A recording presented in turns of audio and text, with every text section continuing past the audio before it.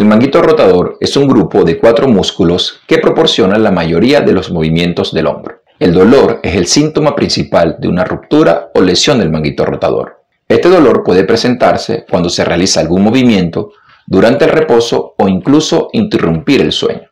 El diagnóstico principal de alguna lesión del manguito rotador se realiza mediante una resonancia magnética simple del hombro.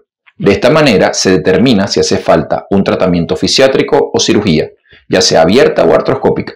En el Hospital de Clínicas Caracas estamos preparados profesionalmente para hacer el diagnóstico y tratamiento de cualquier alteración del manguito rotador, así como de diferentes patologías del hombro.